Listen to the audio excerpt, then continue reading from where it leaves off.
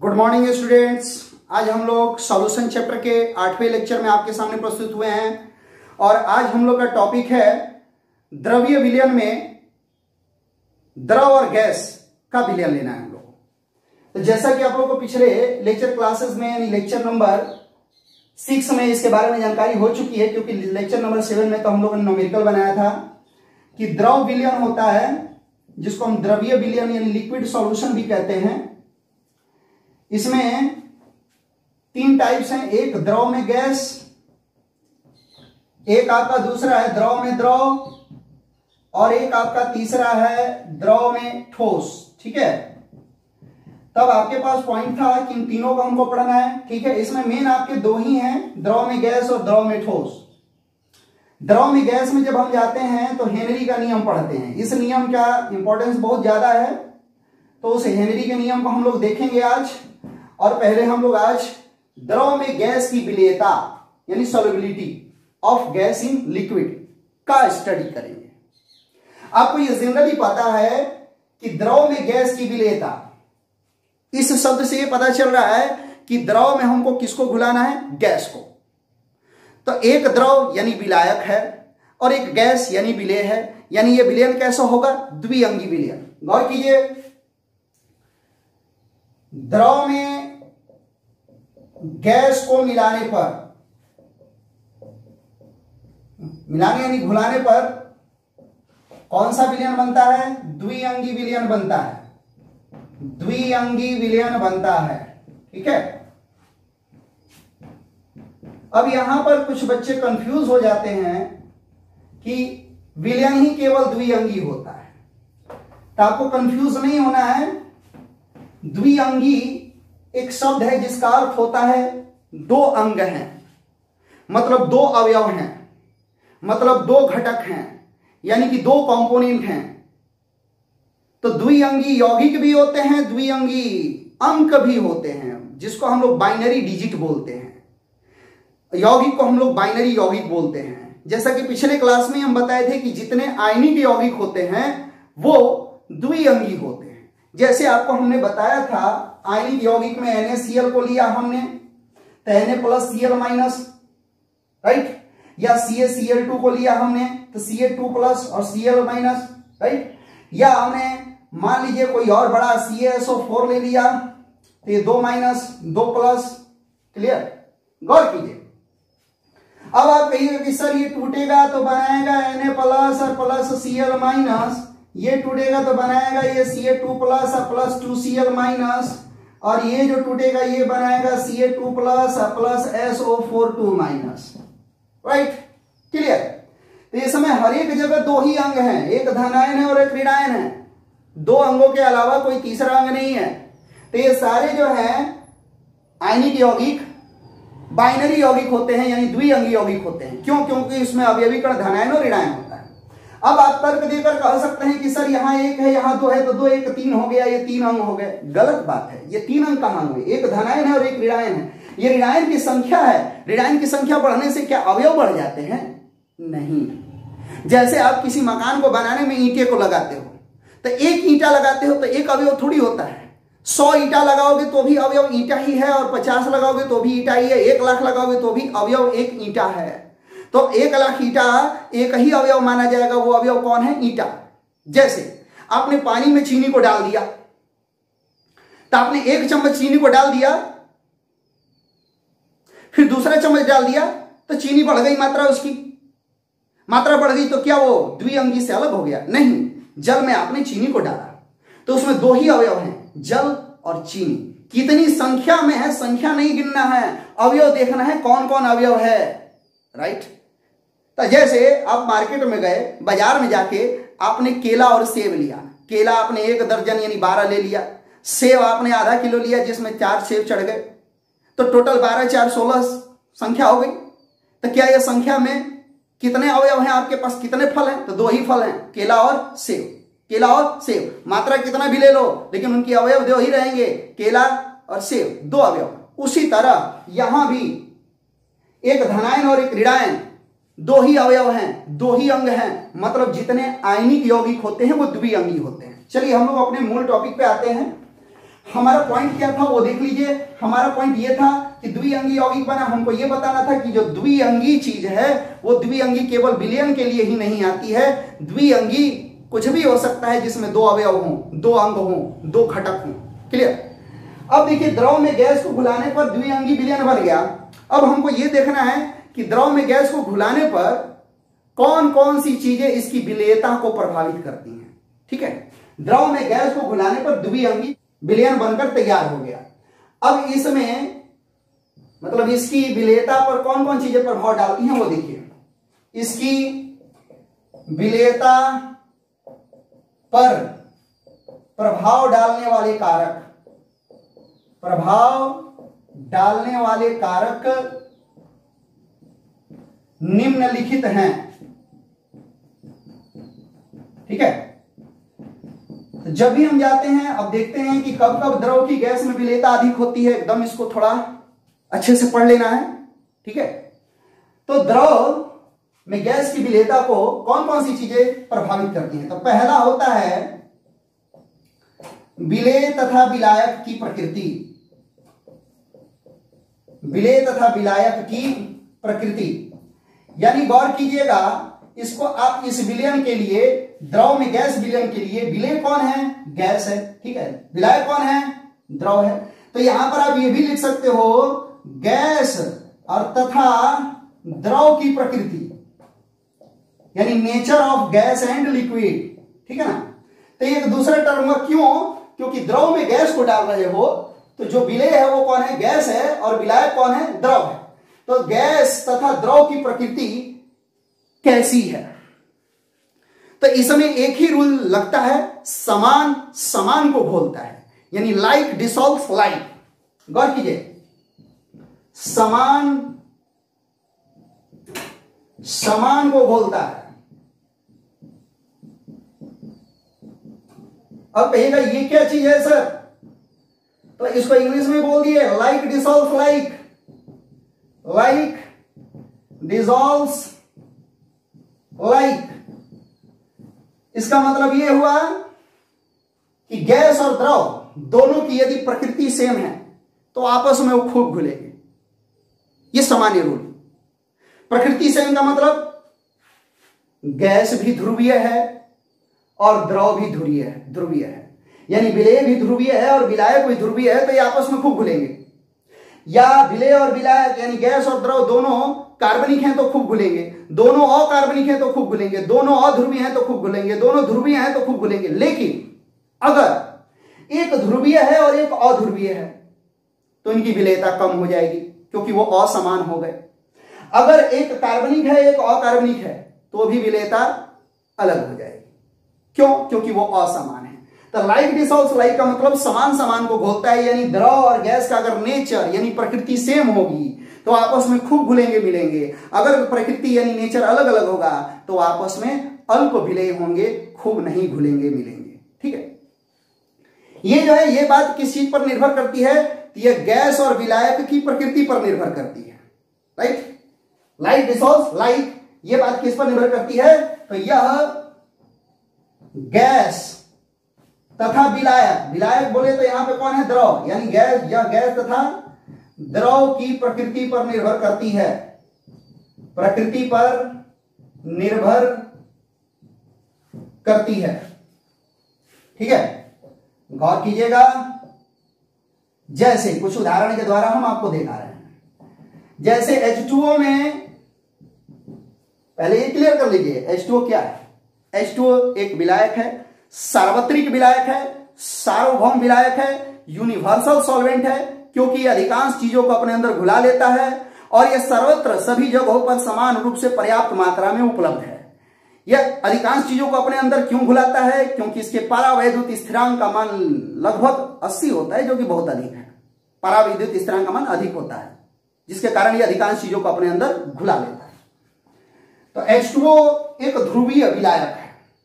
क्योंकि H2O में जब संरचना बनाते हैं आप तो O O के साथ आप H मिलाते हैं इस तरह तो O के ऊपर आंशिक रूप से ऋण आवेश, H के ऊपर आंशिक रूप से धन आवेश आता है। तो ये ध्रुवीय होता है। तो H2O में N2 Cl2 Br2 O2 या एच टू या methane C H four hydrocarbon ETC मतलब एसेट्रा मतलब इत्यादि। गैसें अल्प विलय होती हैं। कम होती हैं, अल्प विलय होती हैं। परंतु परंतु CO two N H three H C L ETC मतलब इत्यादि गैसें अत्यधिक विलय हैं।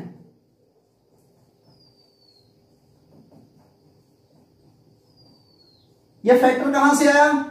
आप देख सकते हैं ध्यान दीजिए एच में N two C L two B R two O two H two C H four जो गैसे हैं वो अल्प विलय क्यों हैं, वो देख लीजिए पहले। एच टू ध्रुवीय है, लेकिन एन टू अध्रुवीय है सी एल टू अध्रुवीय है बी आर टू अध्रुवीय है ओ टू अध्रुवीय है एच टू अध्रुवीय है। हाइड्रोकार्बन भी क्या होते हैं? अध्रुवीय होते हैं। तो ध्रुवीय में अध्रुवीय जा रहा है। नेचर सेम नहीं है। नेचर सेम नहीं है तो इनकी विलेयता क्या हो जाएगी? कम हो जाएगी। लेकिन CO2 ध्रुवीय है, क्योंकि कार्बन और ऑक्सीजन की ऋणात्मकता अलग अलग होती है। NH3 ध्रुवीय है, क्योंकि नाइट्रोजन और हाइड्रोजन की ऋणात्मकता अलग अलग होती है। HCl ध्रुवीय है, क्योंकि हाइड्रोजन और क्लोरीन की ऋणात्मकता अलग अलग होती है। तो ये ध्रुवीय है। तो ये भी ध्रुवीय है और H2O भी क्या है? ध्रुवीय है। तो दोनों का नेचर मिल गया। मिल गया तो अत्यधिक विलय होंगे। ठीक है? अब इसमें एक टर्म्स एंड कंडीशन फिर आ जाता है। यहाँ ऊपर से हम लोग चालू करते हैं। ये बात इसी में है पार्ट उसको समझाते जा रहे हैं लिखते हुए। परंतु यहीं पर आपको देखना एक अलग प्रकार का एग्ज़ाम्पल हम दे रहे हैं आपको ठीक है ना? एक अलग प्रकार परंतु समान ताप और दाब पर, यानी ताप और दाब निश्चित होगा तब। ठीक है? परंतु समान ताप तथा दाब पर यहाँ पर हम कुछ गैसे ले रहे हैं, जैसे O2 ले ले रहे हैं CO2 ले ले रहे हैं N2 ले रहे हैं, ठीक है ना? तो O2 CO2 N2 ETC इत्यादि H2O की अपेक्षा H2O की अपेक्षा एल्कोहल में, यानी इथेनॉल में C2H5OH में अधिक विलय हैं।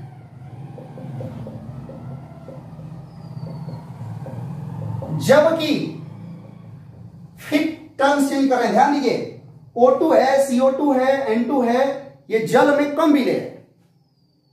किसकी अपेक्षा? एथेनॉल की अपेक्षा। एथेनॉल में ये क्या है? अधिक विलय है। क्यों? क्यों? इसका भी रीजन आपको बता रहे हैं, ठीक है? जबकि वहीं पर अब दूसरा एग्जांपल ले रहे हैं हम, कुछ H2S हाइड्रोजन सल्फाइड अमोनिया जैसी गैसों का ठीक है? जबकि H two S N H2S NH3 ETC गैसे। एथेनॉल की अपेक्षा मतलब C2H5OH की अपेक्षा की अपेक्षा जल में, यानी H2O में,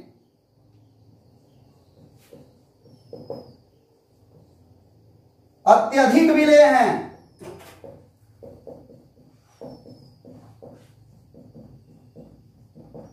राइट? क्यों? इसका रीजन क्या? है आपको यहाँ यह देखना था कि एथेनॉल में O2, CO2, N2 अधिक विलय है किसकी अपेक्षा? जल की अपेक्षा।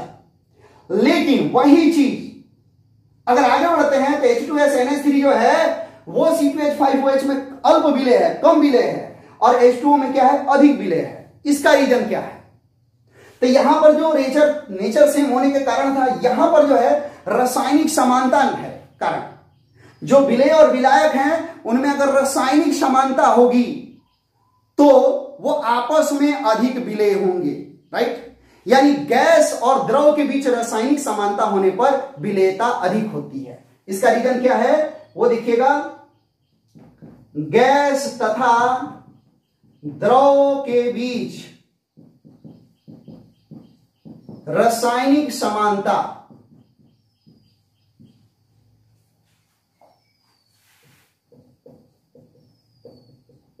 होने पर विलेयता अधिक होती है। ठीक है? तो दोनों रीजन आपको पता चल गए। क्या? तो द्रव में गैस की विलेयता का मुख्य कारण?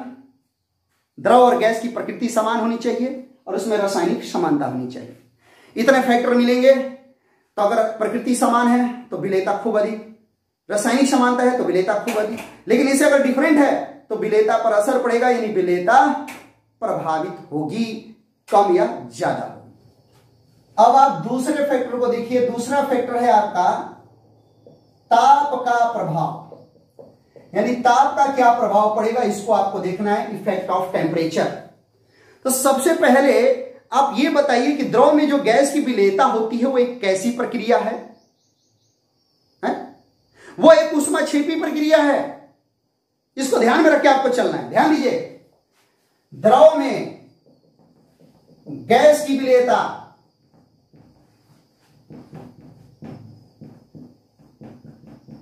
एक उष्मा छेपी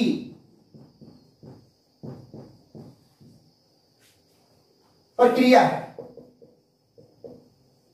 इसका मतलब क्या है वो समझिए। देर द्रव में गैस को डालिए। यहाँ पे विलय कौन है? गैस।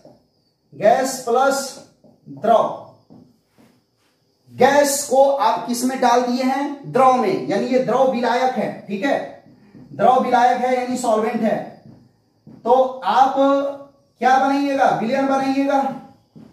विलियन बनाने के बाद यहाँ पे प्लस डेल एच मतलब एनर्जी मुक्त होगी। ये जो सॉल्यूशन बनेगा, इसको आप यहाँ ए भी लिख सकते हो डेल सॉल्यूशन एच ठीक है? तो ये एक उष्मा छिपी अभिक्रिया है। क्या? द्रव में गैस का घुलना एक उष्मा छिपी अभिक्रिया है। इसका मतलब यह हुआ कि सामान्यतः यदि ताप में वृद्धि कीजिएगा तो द्रव में गैसों की विलेयता क्या होगी? घटेगी। क्लियर क्लियर क्लियर हो गया उष्मा छेपी अभिक्रिया। मतलब ला सैतलीय का नियम, ली चेटलियर का नियम कहता है कि उष्मा छेपी अभिक्रिया है। तो अगर उसमें ताप बढ़ाइएगा तो विलेता घटेगी, और ताप घटाइएगा तो विलेयता बढ़ेगी। क्यों? क्योंकि अभिक्रिया उस दिशा में जाएगी, जिधर जाने से उस कारक का प्रभाव पूर्णतः नियंत्रित हो जाए या नष्ट हो जाए या कम हो जाए। राइट तो इसका क्या हो गया बाबू? वैल्यू अतः ताप बढ़ाने पर एकदम सिंपल प्रोसेस आपको पता चला, ताप बढ़ाने पर द्रव में गैस की विलेयता घटती है। ठीक है? अब गौर कीजिएगा, इसमें कुछ अपवाद भी है। जैसे कुछ गैसें जो है द्रव में अल्प विलय होती हैं। जैसे जल में एच टू एन टू गैसें अल्प विलय होती हैं। तो उस स्थिति में यदि ताप बढ़ाइएगा तो ताप बढ़ाइएगा तो जल के अणुओं के बीच में डिस्टेंस बनेगा, वो एक दूसरे से दूर जाएँगे तो जो अल्प विलय गैस थी वो पहले अधिक विलय हो जाएगी। ऐसा केस कब होता है? तो उन्हीं गैसों के साथ होता है जो कि द्रव में अल्प विलय होती है। तो उनकी विलयता जो होगी, ताप बढ़ाने पर पहले बढ़ेगी, उसके बाद घटेगी। राइट क्लियर तो इस चीज़ को भी लिखा देते हैं। परंतु कुछ अल्प विलय गैसे। जैसे में आप आप डाल सकते हैं। कुछ उदाहरण। जैसे में आप कुछ उदाहरण डाल सकते हैं। N two H two ETC की विलेयता बढ़ती है। अक्रिय गैसे भी आ जाएँगी इसमें। ठीक है? चलिए। तो जो अक्रिय गैसे हैं या कम विलय गैसे हैं। अगर उस स्थिति में ताप बढ़ाओगे तो विलेयता पहले कुछ क्या होगी? बढ़ जाएगी। और ये कंडीशन अधिकतर किसके साथ होता है? तो अजलीय विलायक के साथ होता है। जलीय विलायक में नहीं होता है ये। जब विलायक क्या होगा? अजलीय होगा, तब ये कंडीशन अधिकांशतः होता है। क्या? तो अल्प विलय गैसें विलय हो कब जब विलायक, क्या होगा? विशेष रूप से अजलीय होगा। मतलब हाइड्रोकार्बन हो जाए बेंजीन हो जाए अल्कोहल हो जाए एसीटोन हो जाए तो ऐसी स्थिति में अजलीय विलायक जैसे हाइड्रोकार्बन एल्कोहल एसीटोन के साथ यह जो है विशेष रूप से लागू होगा। नियम क्या? ताप बढ़ाने पर गैसों की विलेयता कुछ बढ़ जाए। तो यह आपका फैक्टर था ताप का। अब तीसरा फैक्टर आपके लिए बहुत इंपॉर्टेंट है, जो कि दाब है। दाब के प्रभाव में ही आपको हेनरी का नियम पढ़ना है। और ये भी जान लीजिए आप कि द्रव में गैस को घुला रहे हैं तो द्रव तो असंपीड्य होता है, क्योंकि इसके आयतन पर दाब का प्रभाव नहीं पड़ता है, लेकिन गैस संपीड्य होता है। तो इसके ऊपर दाब का प्रभाव पड़ेगा।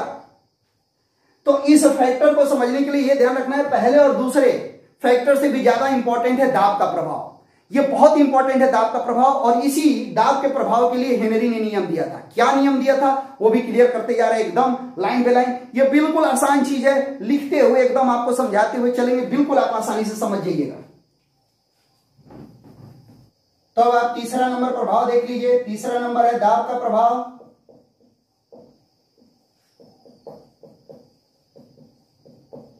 गौर कीजिएगा, आपको पता है, द्रव में गैस की विलेयता पर दाब का प्रभाव सबसे अधिक पड़ता है।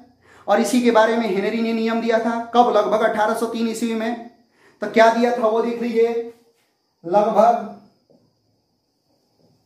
1803 ईस्वी में ब्रिटिश रसायन शास्त्री विलियम हेनरी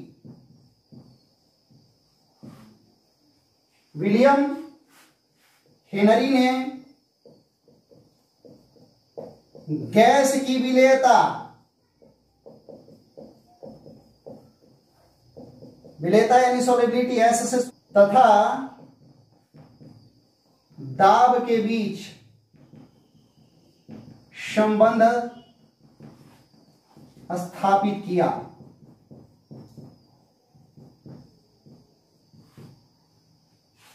जिसे हेनरी नियम कहते हैं।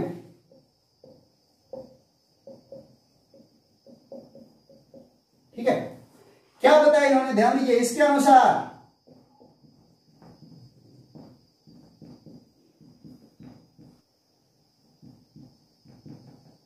स्थिर ताप पर किसी दिए गए विलायक में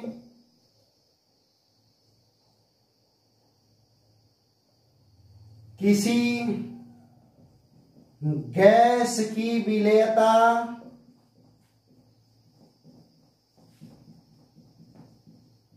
उस पर डाले गए दाब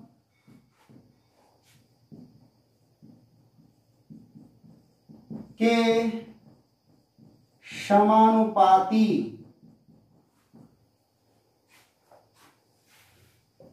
होती है। गणितीय रूप इस तरह होगा एस प्रोपोर्शनल पी एस मतलब विलेता पी मतलब दाब एस मतलब विलेता पी मतलब दाब ठीक है? तो जब समानुपाती का चिन्ह हटेगा तो एस बराबर क्या हो जाएगा? के इंटू पी जहाँ के क्या है? समानुपाती स्थिरांक है। तो देयर फोर एस बटा में पी बराबर क्या हो जाएगा? के क्लियर अब इतना पर कहानी खत्म नहीं ये भी आपको ध्यान रखना है कि यहाँ पर स्थिर ताप है। तो ये पहली डिफिनेशन थी जो कि ओरिजिनल थी। इसके बाद प्रचलित डिफिनेशन अलग है। तो स्थिर ताप पर ध्यान रखना है आपको, किसी भी गैस की जो विलेयता होती है, उसे मोल अंश माना जाता है क्योंकि वो मोल अंश के बराबर होती है। क्लियर तो ये आपको ध्यान रखना है, स्थिर ताप पर। किसी गैस की जो विलेयता होती है, वो उसके मोल अंश के बराबर होती है। तो उसकी जगह पर हम लोग एस की जगह पर मोल अंश का प्रयोग करने लगते हैं। ठीक है? तो इस अगर टर्म को देखें हम लोग प्रचलित में तो वो ध्यान रखिएगा।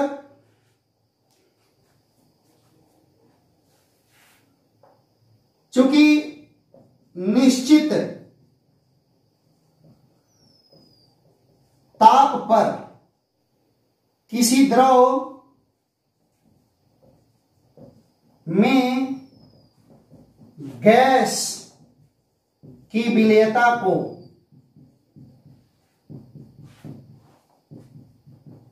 मोल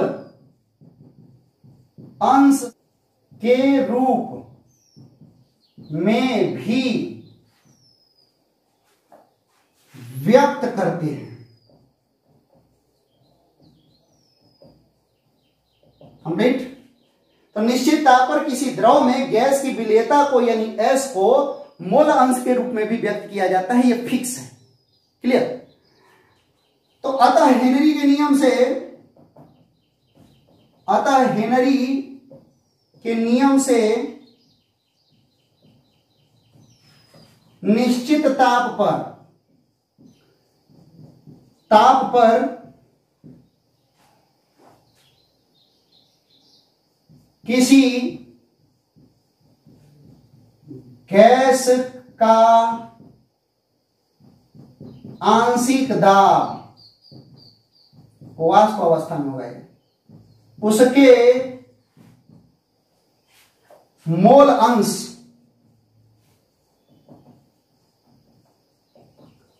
का समानुपाती होता है।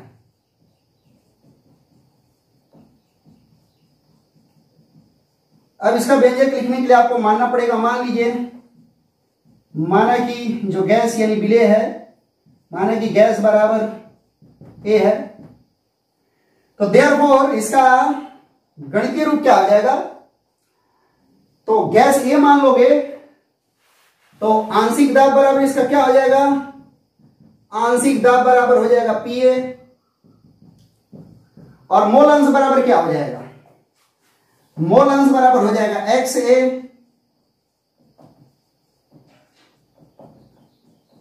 देर जो पीए होगा, वो समानुपाती हो जाएगा एक्स ए के।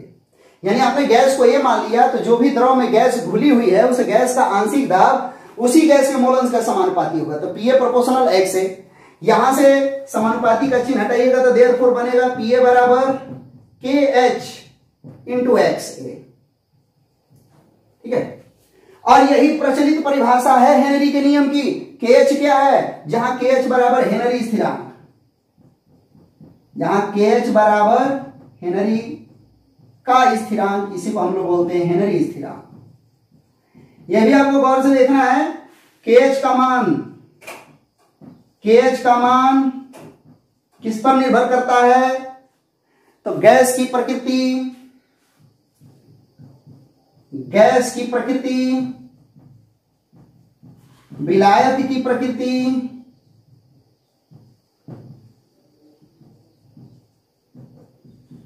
तथा ताप पर निर्भर करता है, यानी टेम्परेचर पर।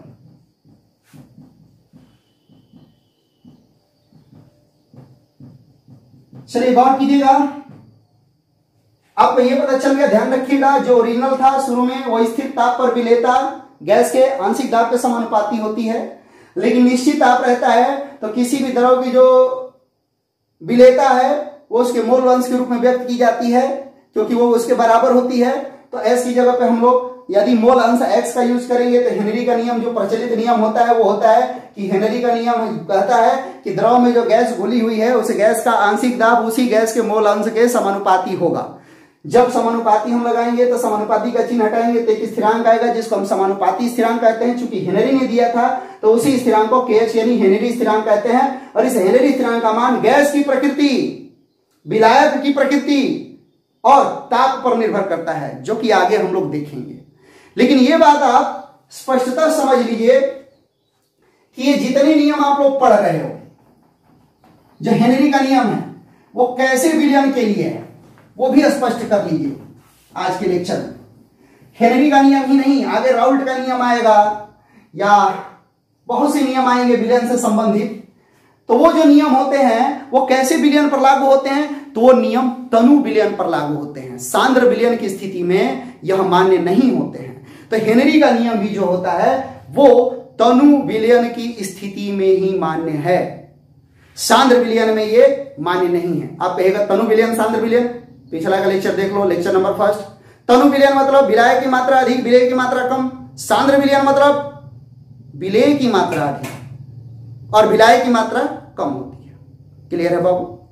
तो अब इस टर्म को आगे बढ़ाइए और ध्यान रखिएगा, इसमें सावधानी रखिएगा कि हेनरी का नियम केवल अति तनु विलयन के लिए सही है।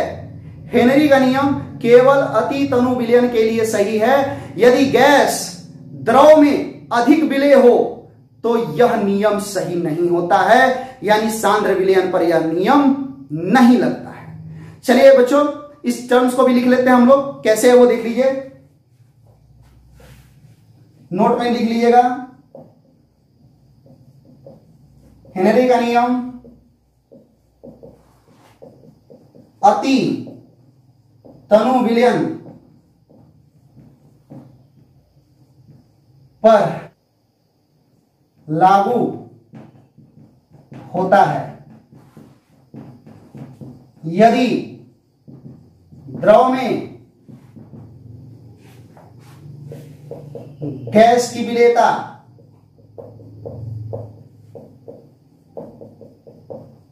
अधिक होती है तो यह नियम मान्य नहीं है